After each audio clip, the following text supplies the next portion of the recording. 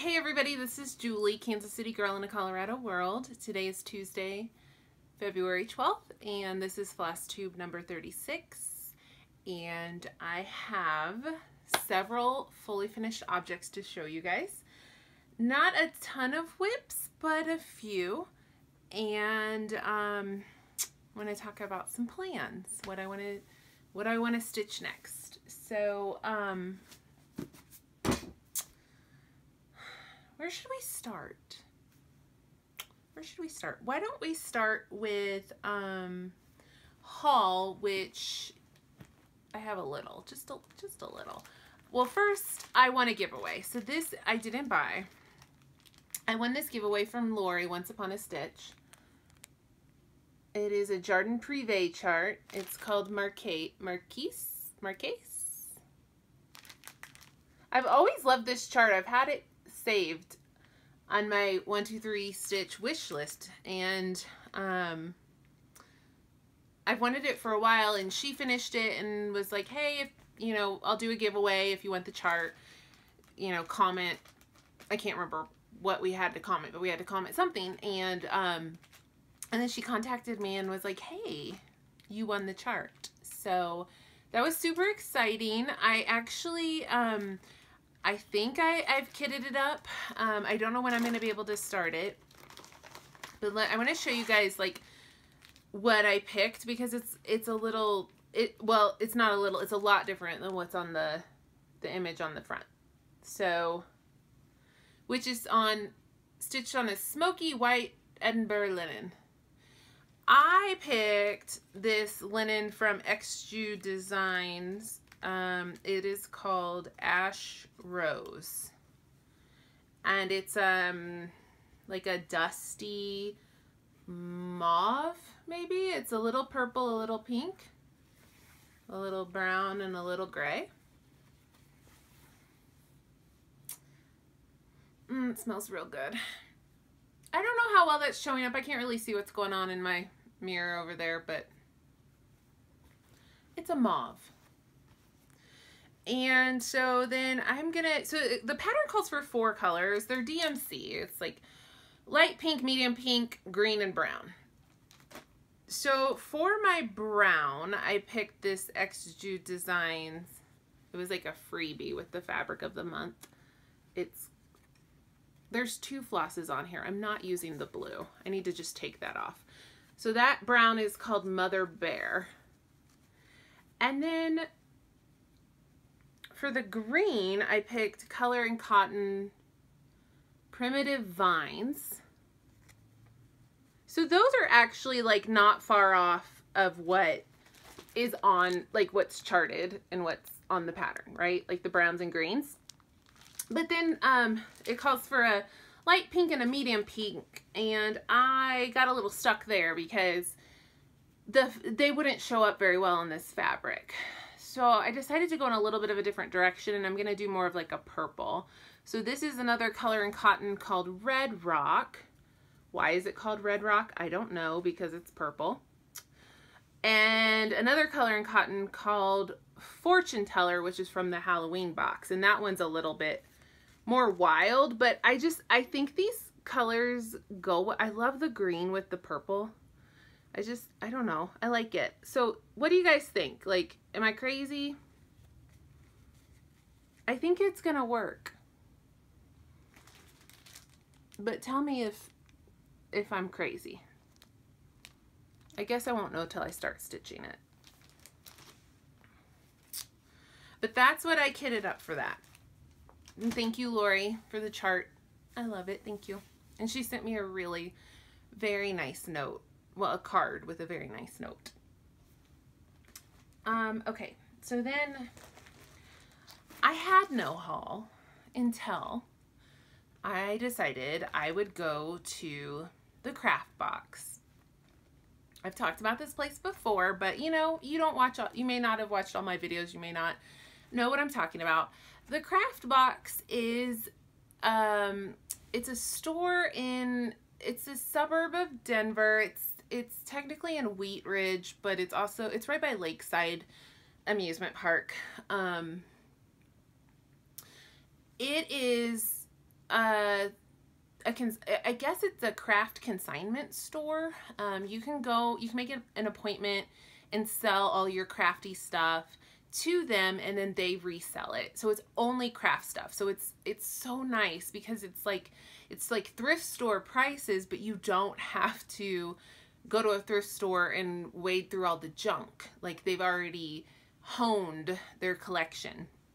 Um, so they have, like you walk in and there's a needlepoint and cross stitch section, there's a knitting section, a quilting section, a stamping and scrapbooking section, um, a mixed media kind of crafty section, and then like a whole fabric section, uh, beads, I mean every, like all, all of the hobbies we like. And so the prices are really, really cheap too. And I hadn't been in a while and I needed some fabric because I have started quilting finally. And I didn't bring, I'll, I don't have much put together yet. So maybe next video I'll show you what I'm doing with quilting, but I have officially started a quilt and I'm doing Christine Stitch All the Things um, quilt quilting tutorial. So I'm doing the four patch. So I'm doing that, but I'm also planning all these other quilts I want to do. And I have a quilt. Oh, you know what? I have the pattern right here, so I'll show you. I got this on Etsy. It is, the seller is Satomi, S-A-T-O-M-I, Satomi Quilts.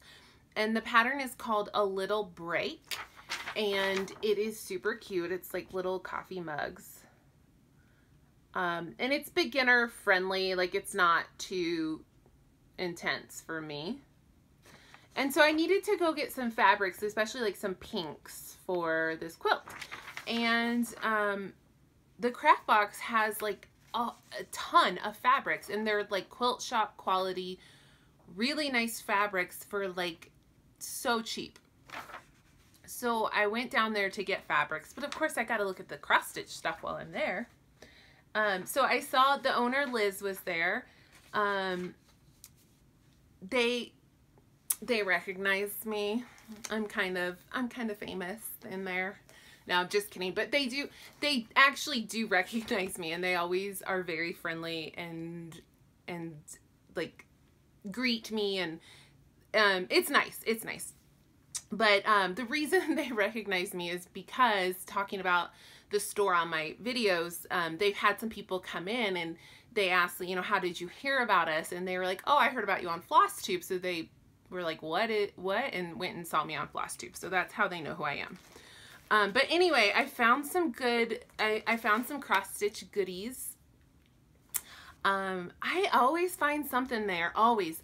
Um, they do, they do get new inventory. I think like, I don't know how often, but like it's got to be pretty frequently. I'm sure like really great stuff is put out and sells like immediately and I I never even know it was there. But um every time I've gone there is new stuff there. So I always find something. So what I found this time first I found a piece of fabric and I don't know I don't know much about it. It's not labeled. It feels it feels like um a Wichelt. It's that it like it actually feels like a lamb's wool, but it's dyed. It's not lamb's wool. It's got a little bit of dye to it. Um, just a nice piece of fabric. It looks like maybe a 32 count, maybe 28 even. I'd have to get my gauge out and check. Um, just a nice neutral little piece of fabric for, you know, a couple dollars. It might be someone might have dyed it themselves. It might be like a tea and coffee dyed. It feels like lamb's wool, but it's not the color of lamb's wool. So I'm wondering if someone took some lamb's wool and dyed it themselves. I'm not mad about it.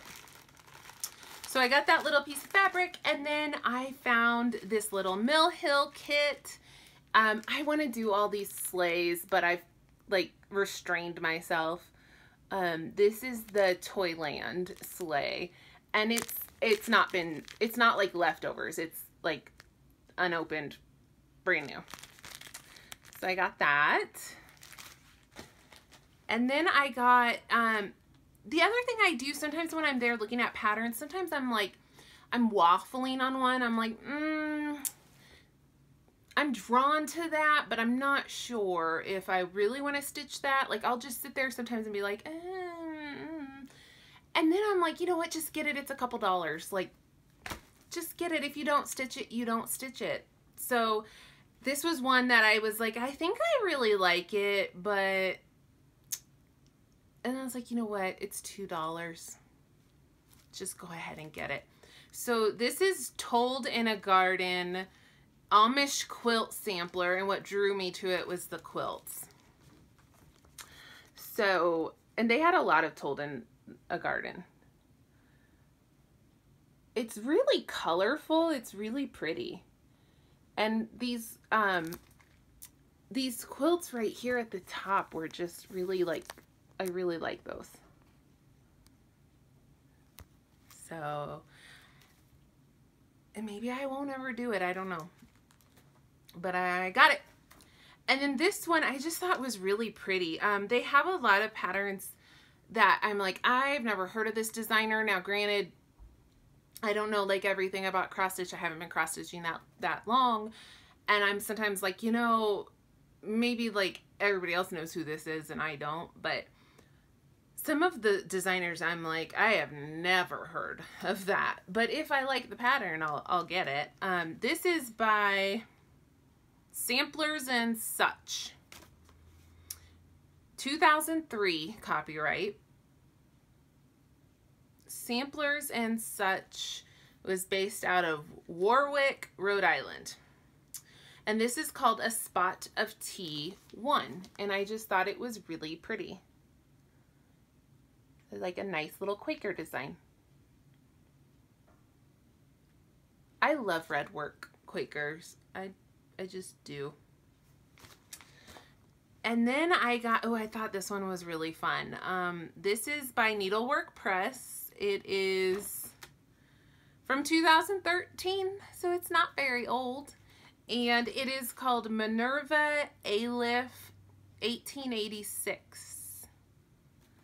So I guess it's a sampler, it's an adaptation of Minerva's 1886 sampler. I love that her name is Minerva.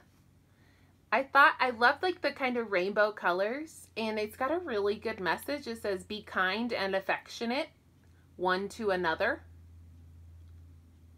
And here on the back, you can see this was the original that they based it off of. I like that. It's like a pretty rainbow. I love the colors. And then I got um, the Sampler Girl Thanksgiving 1789 Pocket.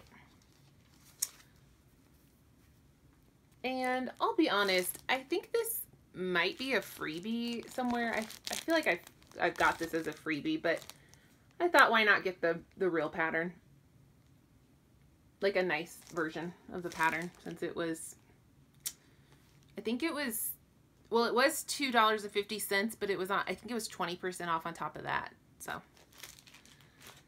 okay. And then the last thing I got, I was so excited. Like, I always find, I mean, these are treasures that I found, but I often find like a treasure treasure where I'm like, are you kidding me right now? Like one time at this store, I found the Primitive Needle Witch's Hollow for $5. That chart sells for over a $100 all the time on eBay. I'm actually going to show you guys that because I worked on it this week. Um, but anyway, I found a treasure. I, I, I couldn't believe when I found this. I have this saved on my 123 stitch wish list. I've had it saved for a while. I've almost bought it several times and then I'm like, ah, yeah, it's a, it's a really big project and, eh, you know, like maybe someday. I'm, I'm so glad I never bought it because I found it at a, at the craft box. It's praiseworthy, praiseworthy stitches, Widow Black's B&B they have several of these Halloween scenes, and this is my favorite one. Widow Black's B&B is my favorite one. So I found the chart there and I was very excited. And then look, it includes the button pack, which by the way, the button pack said it was $21.50 just for the buttons. So I got the chart and the buttons for way less than that. This was, okay. This was a splurge for for the pricing, like for the craft box and for what things usually cost. This was a splurge, but I did not bat an eye at paying $12.99 for this. But that is pricey for them. And it's because of this button pack. So that is what I got from the craft box. Um, yay. When am I going to stitch any of that? No, no time soon. No time soon. Um, okay. Let me show you my finishes. Let me show you one of my finishes that isn't fully finished. And it's not fully finished because it's a work in progress, but it is still a mini finish. I am stitching the Primitive Hare uh, Pagan Holiday freebies. And I'm stitching them as the holidays fall. And um,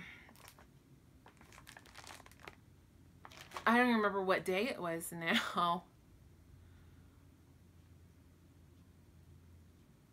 February, I don't remember when it was. February 4th or 5th or something was Imbolc. I, I'm not a pagan. Like I don't I don't really know these things. Um, so I I stitched Imbolc. I am stitching, there are eight of these. They're all free on her blog, Primitive Hare, if I didn't say that already. And I'm stitching them all in a wheel. And so it's still a whip until I get all eight done, but I do count them as like little mini finishes. However, they don't count towards finishes that I'm earning my new starts with, if that makes sense. Um, so here's Imbolc.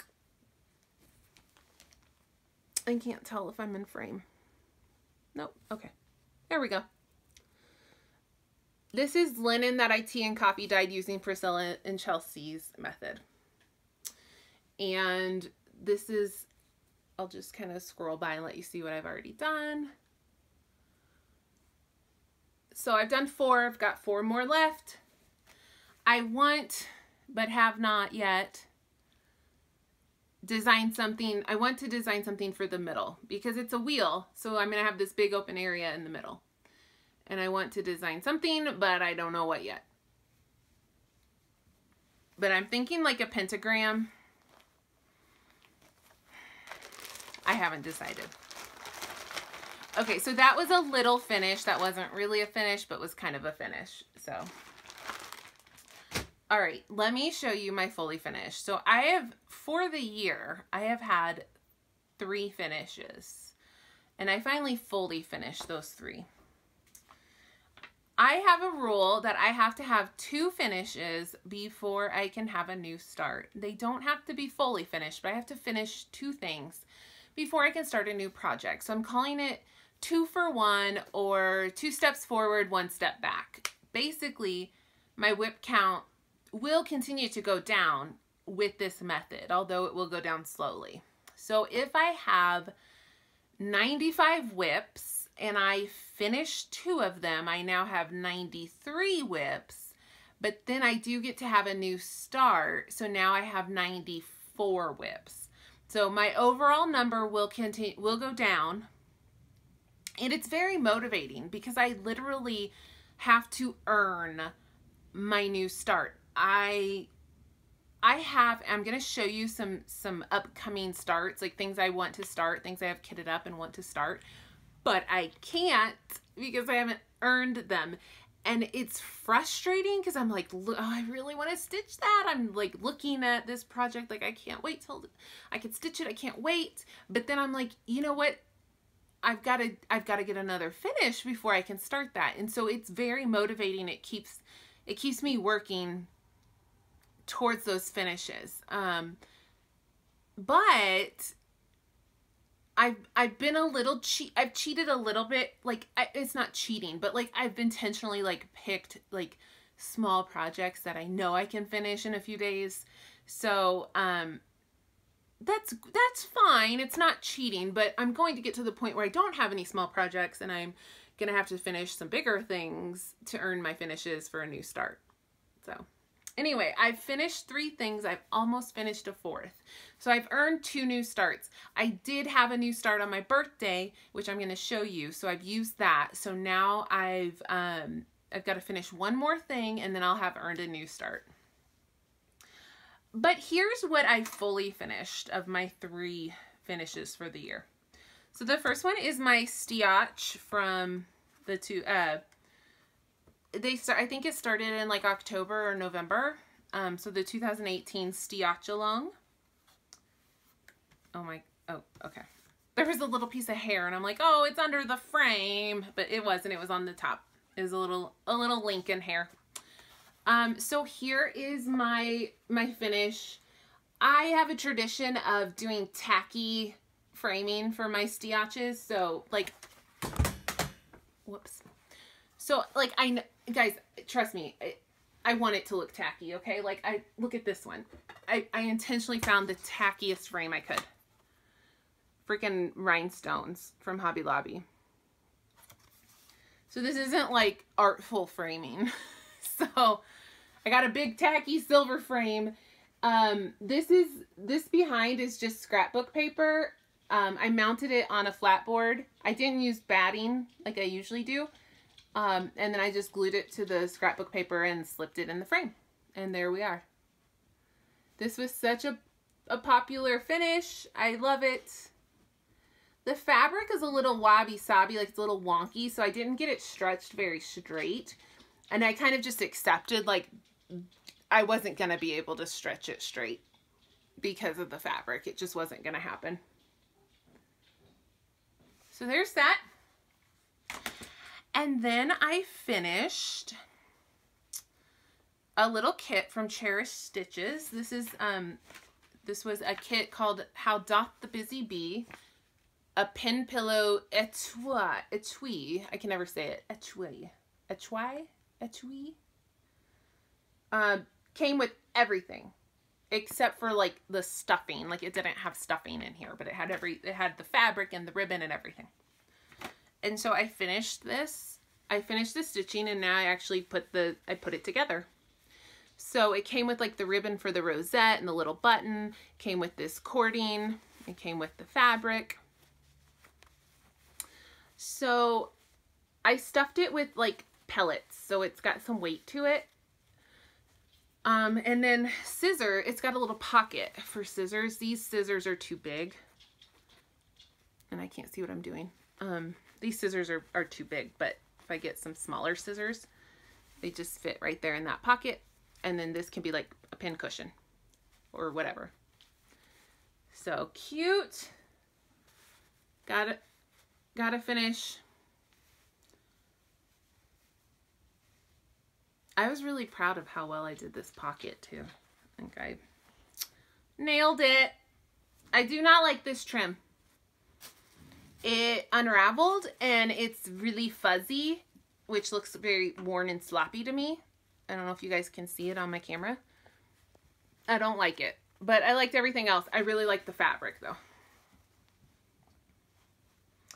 And then my third and final fully finished object is a pattern from Abby Rose called My Soul is Fed. And I stitched this on, like, I thought I had it in here. I think it's like a 36 count R&R.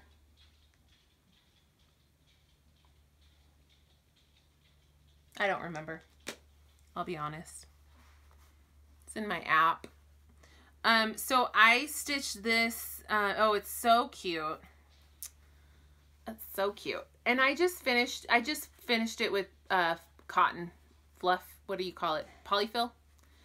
Uh, this is velvet that I got in my um, Color and Cotton Halloween box. Real nice. It just kind of went perfectly. And I'm debating maybe putting like some cording around, like maybe a rose colored cording. But after this disaster, I'm I'm I'm not real into that right now, so we'll see. Okay, so three fully finished objects. My screen grab. Three fully finished objects. Okay, so whips. Whips, whips, whips. When we spoke last, it was my birthday, January 29th. After my birthday, I started a new pattern, or the day of my birthday, I started with Sarah Elliott, also known as Stitchology. Lincoln, no. He wants to go outside. Um, we, so the pattern is called, ugh, it's called ugh. U-G-H, ugh. And it's by Samwise Simple Stitch on Etsy. And it's Scarlett O'Hara. And I rewatched Gone with the Wind while I was stitching this. And oh my god, that movie. I love that movie. But Scarlett and Rhett are the most horrible people on the planet. God, they're horrible.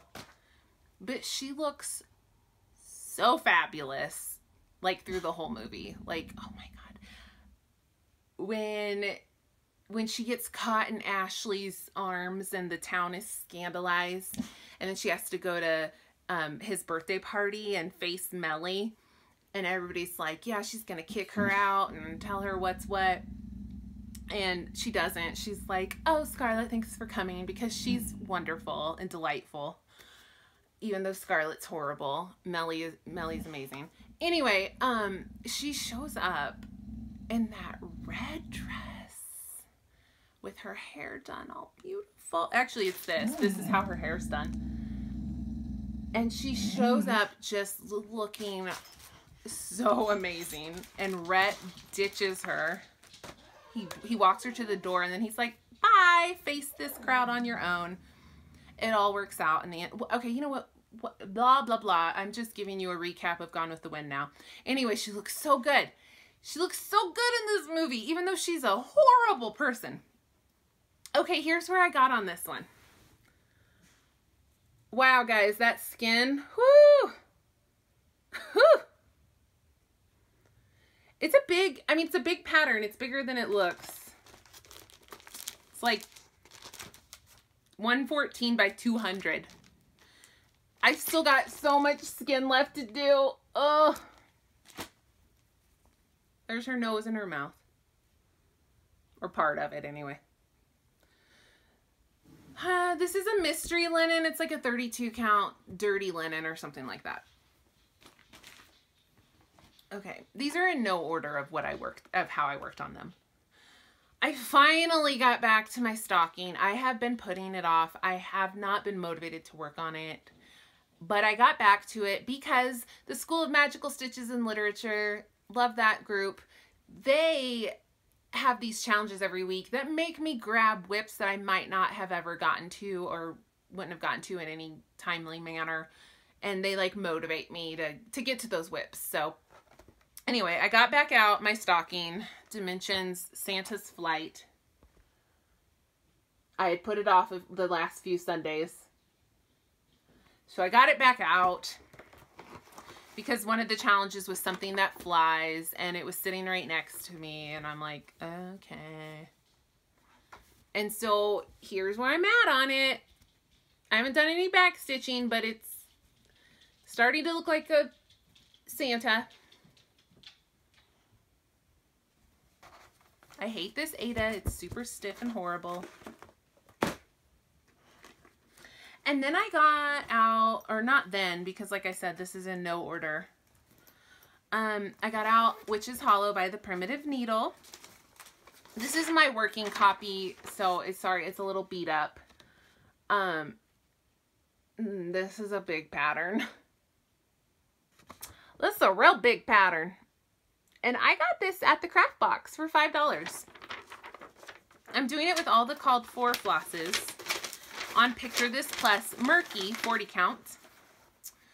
and this fulfilled uh, this met the the challenge several of the challenges like we had to stitch on um, a night scene and stitch on uh, something that's hard to find which is this pattern and stitch on something with grass so it fulfilled several of the this week's challenges so this is um this is my fabric and this is um, I was stitching I stitched this all basically this whole section here the hill and that I started on the house.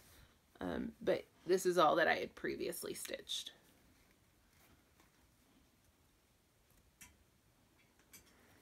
I need to work on this more.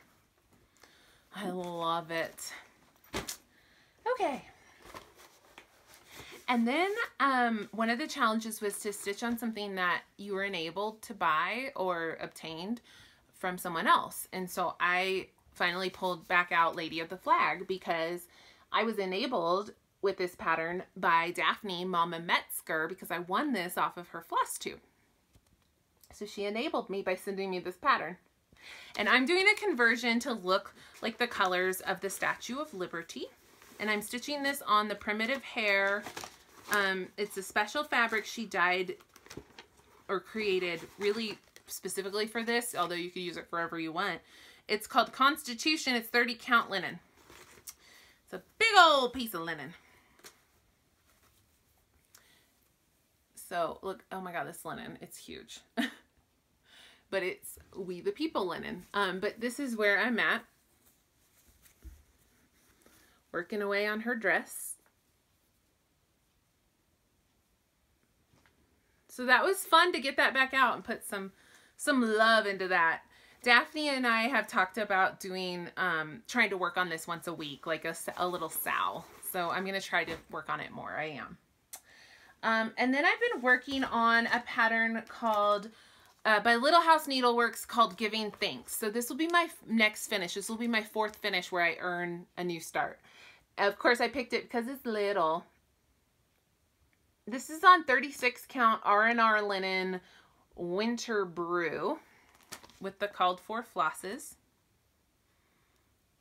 I cut it a little close on this fabric.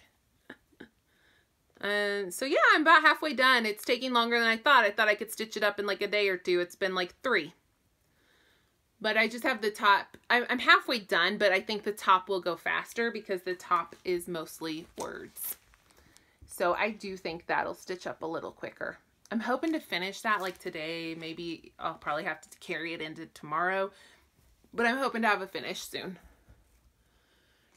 So nice little project. Like I said, I'm trying to finish all my little things so I can get new starts. And then we had some snow last week. So I got out Mirabilia Snow Queen. I love this project. I do not get tired of it. I hope for snow because I love snow, but also because I want to get this out and work on it more. so I I'm happy when it snows and it's supposed to snow Monday, I think. So I hope I get it back out. Okay, so here's where I'm at. Oh, it's so pretty. It's the fabric is hand dyed by Stephanie 32 count Polywog Princess and I'm using all the called for stuff. And everything that's stitched here is like all everything is stitched except for the beads. So like any gaps or holes you see are where beads are gonna go. So um oh those antlers took forever. They took longer than they look. I added in some sparkly Kreinik. I don't know if you can see it. It's that green So there we are. I have the reindeer almost done. This is like, I've got some, some right here, some belly right here. And then we're in, then we're in dress and this is all dress. So I got to finish this, um, this leg. There's some like snow and then dress. Then we're, then we're on to the lady. So fun to stitch. It's so pretty. I love it. I love it. All right, that is all I worked on. So what is next for me? I'm so I'm I've almost earned another new start. I'm so excited. I'm very frustrated though because I want to start so many things and I can only do one. And so I think what I'm going to start is Stacy Nash Cherry Hollow Farm Sampler. This seems to be the one that is calling to me the most. And this is a kit. It was a Nashville kit a couple years ago. So I think that's what I'm going to start. But I also, I mean, so many things are calling to me. I, you know, this, this Jardin Privé Marquise is calling to me. This Plum Street, Mrs. Bingley's Library, is really calling to me. I almost picked this one instead of the Cherry Hollow Farm. Um, also calling to me is the Primitive Hare, the Old Winter. Calling, calling to me. And then this Kathy Barrick Sunflower Farm. Those are all kitted up, ready to start. So I'm thinking Cherry Hollow Farm. I'm thinking this is my next start. Unless y'all can convince me otherwise. If you feel like I really need to start one of those other ones and you have a re really good reason, let me know. Let me know. I could be persuaded. I could. Um, all right, that's all I've got. Thank you for watching, and I will see you next time. Bye, everybody.